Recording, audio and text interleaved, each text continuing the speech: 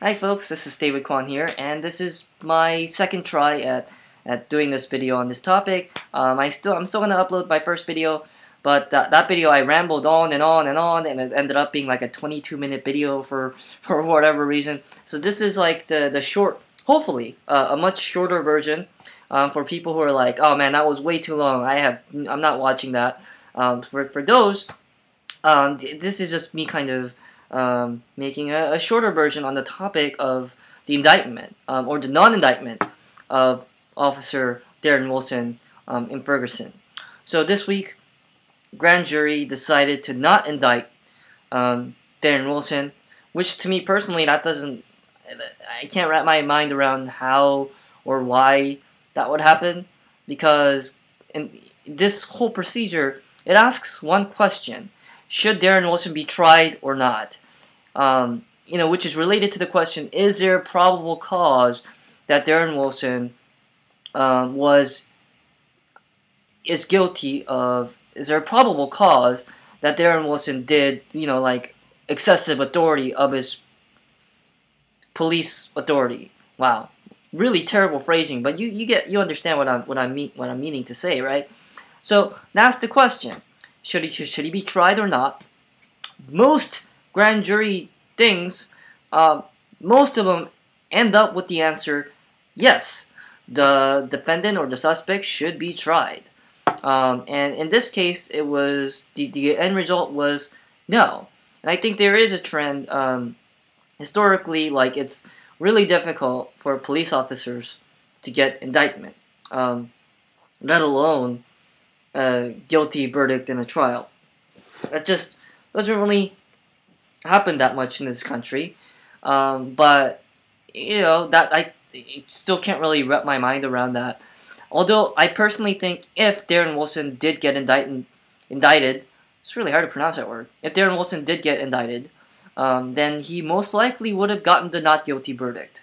Um, that's that's my opinion. I predict that but it, I don't really have to predict that, predict that anymore because he's not even going to get tried.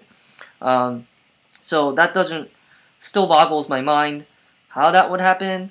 Um, I think it's maybe, possibly, me being creative and thinking that some of the jury members were thinking far ahead into the future. Maybe.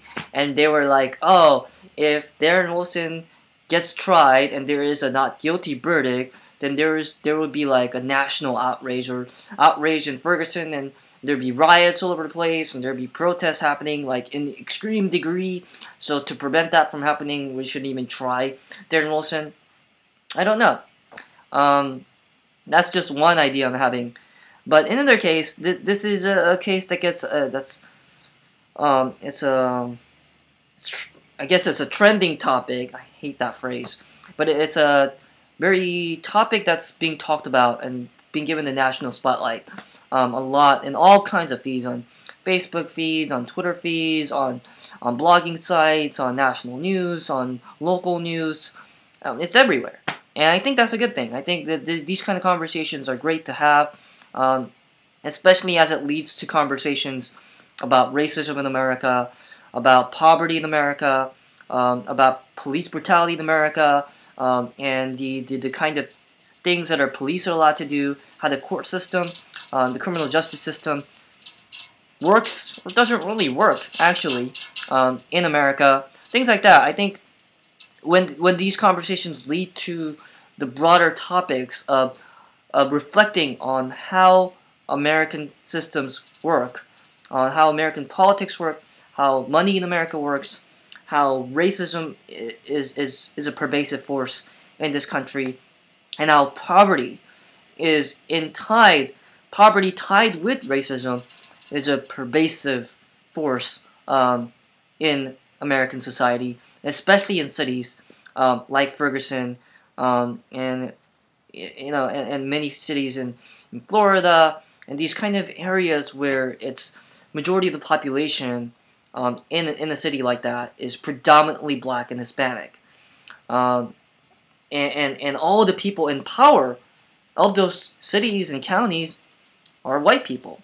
Um, you look at the police force of Ferguson. You look at the the politicians, of judges.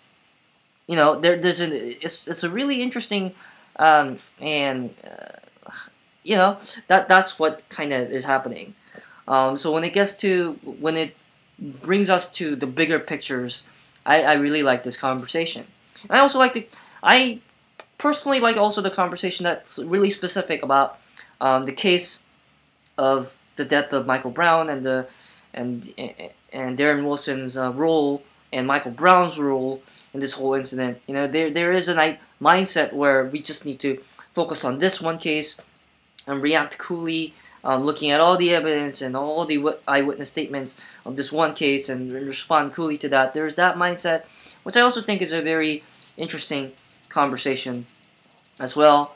Um, and I might not agree with this sentiment, but I do think it's a sensible sentiment to think that um, you look at all the evidence and it's Michael uh, Darren Wilson is not guilty of excessive use of force. Um, there is that mindset. I think that's a sensible mindset. Um, not one I agree with personally, but I think it's sensible. But going beyond that, I think it's offensive and quite racist to to think in a main mindset that thinks that Michael Brown deserved to die. Um, I, that's the mindset where it, it triggers like, the hell are you saying, dude? Like that's that's fucking ridiculous. Kind of reaction for me, um, because it's that's almost like saying Michael Brown deserved the death penalty for whatever he's guilty of. Um, and from the evidence we know, the the really things that Michael Brown uh, might be guilty of, and maybe you guys think he's guilty of this, um, stealing from a grocery like a you know local grocery store or, or a liquor store, and uh, threatening a police officer, and even trying to attack and attacking a police officer, um, or not obeying the orders of a police officer. I guess those kind of the four things that Michael Brown could be guilty of. In in all those things, in any of those things or all those things combined, you cannot argue that he deserves the death penalty for any of those crimes. That's ridiculous. Um, death penalty doesn't come lightly in this country, even though we have it in many states um, in the nation, and you know that's that's that that that that penalty doesn't come easily. Even even for people who are convicted of rape, um, of of really heinous crimes, um, even states that have that penalty do not issue that penalty um, for those. And it's it's like that that that penalty is like super reserved for like I don't know um, people who try to assassinate the president.